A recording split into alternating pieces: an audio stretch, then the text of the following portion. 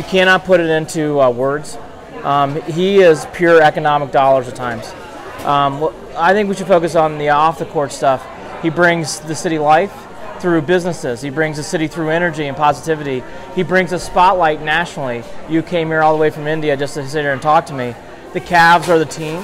The, the organization is owned by Dan Gilbert. is a great owner for Quicken Loans. But really, LeBron's the face. He is the, he is the king. I mean, he is the ruler of the Cavs. So he plays a major role, and because he's from Northeast Ohio, he burdens a lot of the understanding of what happens here, um, what's gone through. The city's doing great. The city is a wonderful place. It's very economical friendly, and a lot of that's because of LeBron James and the money he brings in.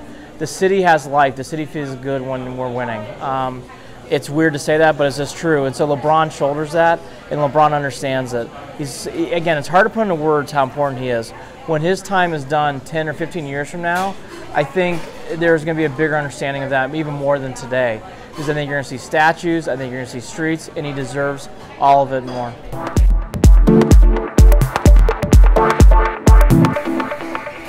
The decision is one of those. It's not. I always say this about the decision. It's not how. It's not that he left. It's not that uh, he chose to go to Miami. Because if you think about it, you understand when you see great players go to an organization, look at Golden State, you want to go there to win championships. What hurt was how he did it. What hurt was he's from here. And what hurt, and he admitted so, he did not handle it well. Um, when CC Sabathia left for free agency, he was traded to the Brewers. When he got traded the very next day, he took out a he took out a big ad in a plain dealer thanking the fans that's why CC Sabathia is not hated when he pitches for the Yankees, because the way he left, we all embraced. When you leave and you do a television show, and your first line is, "I'm taking my talents to South Beach," it stings. It stings, especially if you're from the area where the imagery is not South Beach. So um, that's why it hurt, and he's admitted so. Um, but again, all is forgiven. He won that championship.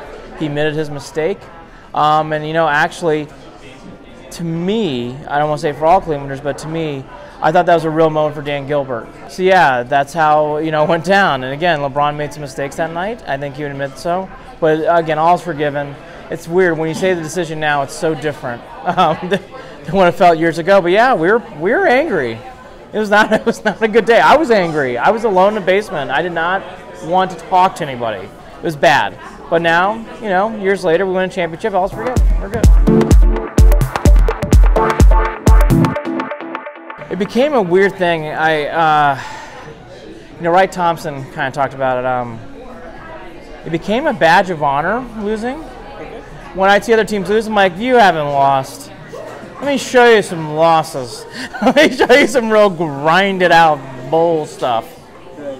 So it became kind of a badge of honor. Um, it became our identity for a while, which is not, I hate to say it, I was a part of it. I was a part of it. I, I wore shirts said to fumble the drive, you know, the decision. But we're still here and we still cheer. And I was, I was, I had that T-shirt.